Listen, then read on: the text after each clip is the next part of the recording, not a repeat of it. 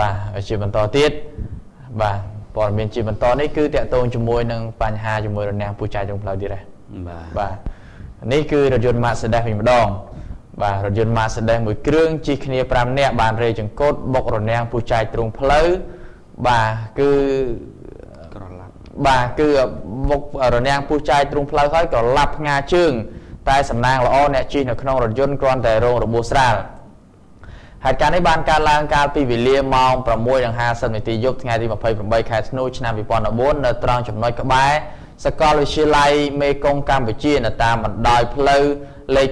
271សន្ធិដ្ឋនៅក្នុងសង្កាត់ទឹកល្អ3ខណ្ឌទូលគោក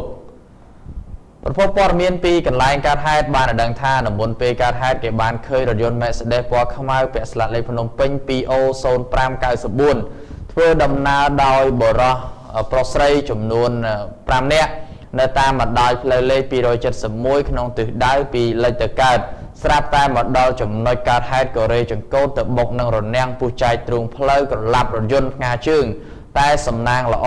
មិនបង្កឲ្យអ្នកជិះនៅក្នុងរថយន្តនោះរងរបួសធ្ងន់នោះទេ ហើយក៏បានលូនចេញពីរថយន្តរួចបាទទៅមន្ទីរពេទ្យព្យាបាលរងរបួសភ្លាមៗតែម្ដង ក្រៅពីការហេតុសមត្ថកិច្ចមូលដ្ឋានក៏បានចុះទៅពិនិត្យនិងជួយសម្រួលចរាចរណ៍កុំឲ្យមានការកកស្ទះបាទរួចក៏បានតាក់ទងទៅសមត្ថកិច្ចជំនាញចុះមកវាស់វែងស្ទូចរថយន្តយកទៅរក្សាទុកនៅការិយាល័យចរាចរណ៍នៃស្នងការនគរបាលរាជធានីភ្នំពេញដើម្បីធ្វើការដោះស្រាយតាមផ្លូវច្បាប់គួរបញ្ជាក់ផងដែរថានៅចំណុចកើតហេតុបាទខាងលើគឺរនាំងពុះចែកទ្រង់ផ្លូវគឺมันមានដាក់សញ្ញាសម្គាល់ឲ្យយានយន្តធ្វើដំណើរឲ្យបានឃើញនោះទេ ទើបបង្កឲ្យមានគ្រោះថ្នាក់បែបនេះបាទអញ្ចឹងនេះគឺជាគ្រោះថ្នាក់ចរាចរណ៍មួយតែវាអាចផ្ដើមចេញដោយសារតែមិនការមិនបានដាក់ផ្លាកសញ្ញាបាទបាទអញ្ចឹងសម្រាប់ផ្លូវ271យើងឃើញថាមានតំបន់មួយចំនួនយើងទើបទៅដាក់រនាំងពុះចាយទ្រង់ផ្លូវដែរបាទបាទឯទៅផ្លូវ271គឺរនាំងថ្មបាទរនាំងថ្មអត់មានរនាំងផៃទេគឺរនាំងថ្មអញ្ចឹង បើសិនជារនាំងដែកបាក់បុកទៅបាក់រថយន្តវាមិនអាចថាកលាប់បានទេបាទបាទតែបើសិនជារនាំងថ្មវិញតាបុកឡើងក្បាលនេះពុះចែកទ្រង់ផ្លូវនឹងហើយថ្មនឹងហើយគឺអាចអាចបាទបើថាលបឿនរៀងយឺតអាហ្នឹងគ្រាន់តែមកឡើងមកកចប់ឯដោយរថយន្តអឺមួយឡែនថ្ងៃមុននោះបាទគ្រាន់ឡើងមកកចប់ទៅមុខឡែរួចបាទកងខ្ញាល់តែបើសិនជាលបឿនលឿនវិញតាផាំងមកបាទឡើងមកផែទៅកលាប់ហើយ បាទអញ្ចឹងជាសំណាងល្អដែរដែលអ្នកដែលជិះក្នុងរថយន្តហ្នឹងមិនមានរោគរបួសធ្ងន់ទេ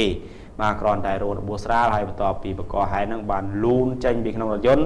បាទរត់ទៅមន្ទីរពេទ្យរៀងៗខ្លួនបាទបាទណាគេរបួសធ្ងន់រត់ទៅបានខ្លួនមុនគេណាបាទបាទអញ្ចឹងសម្រាប់ព័ត៌មាននេះបាទសូមបញ្ជាក់ឡើងវិញបន្តិចថាសម្រាប់អឺ ក្បាលនេះបាទពូចែកទ្រង់ផ្លូវនៅចំណុចហ្នឹងគឺអត់មានដាក់ផ្លាកសញ្ញាចរាចរណ៍ឲ្យសម្រាប់ងាយស្រួលក្នុងការឃើញទេបាទចាំសូមមកជំរាបក៏ដូចជាសំណុំពរដោយខាងសមាជិកបាទសូមមេត្តាបាទរៀបចំនៅកន្លែងនេះឡើងវិញបាទអញ្ចឹងទោះបីថាមានរនាំងពូចែកទ្រង់ផ្លូវក៏ដោយតែយើងអឺឃើញមានបាទតែកន្លែងខ្លះក៏នេះដែរលោកចន្ទាបាទជួនកាលបុកឡើងពីកឡើងនេះមិនតាន់ធ្វើផងអត់តាន់ធ្វើបាទយើងឃើញបាទអឺខ្លះអឺ កន្លែងក្បាលនេះហ្នឹងគាត់មានភ្លើងគាត់មានតែភ្លើងភ្លឹបភ្លឹបភ្លឹបភ្លឹបដែរតែតំបន់ខ្លះដល់ពេលមានការខូចខាតគាត់ដាក់ឡើងវិញទេបាទបាទដល់ដាក់ឡើងវិញអញ្ចឹងធ្វើឲ្យបងប្អូនវិជាបរដ្ឋគាត់ធ្វើចរាចរណ៍អញ្ចឹងអាចមានគ្រោះថ្នាក់ធ្ងន់ធ្ងរព្រោះថាធម្មតាផ្លូវពីពីពីដើមមកវាវាលអត់មានរនាំងមានអីណាដល់ដល់ពេលមកដល់ចំណុចហ្នឹងគឺអត់មានល្ងិតឈឹងអីចឹងទៅបាទអញ្ចឹងគាត់ដឹងអាប៉ះហើយ បាទអញ្ចឹងដូចជាតំបន់ខ្លះមានទឹកដាក់ដែលតំបន់ខ្លះគាត់គិតគូរពីសុវត្ថិភាពបងប្អូនធ្វើចរាចរណ៍ណាគាត់មានតាំងពីភ្លើងវិលនៅពីលើហើយគាត់មានអាភ្លើងភ្លឹបភ្លឹបភ្លឹបពណ៌លឿងហ្នឹងដើម្បីឲ្យអឺគេហៅថាងាយស្រួលហើយឲ្យគាត់ដឹងថាហ្នឹងគឺមានអ្វីនៅពីមុខហើយតែបើថាតំបន់មួយចំនួនគឺអត់មានទេហើយសម្រាប់ថានិយាយជាការពិតតែម្ដងគឺសម្រាប់ខ្លះ អាភ្លើងអាថ្នាំពណ៌លឿងហ្នឹងអាលុបចង់អស់ហើយបាទអាថ្នាំពណ៌លឿងដែលយើងសម្រាប់រថយន្តបាញ់ទៅហ្នឹងវាចំណាំងផ្លាតឬក៏អាចមើលឃើញខ្លះខ្លះហ្នឹងបាទអឺតំបន់មួយចំនួនក៏លុបអស់ដែរបាទបាទ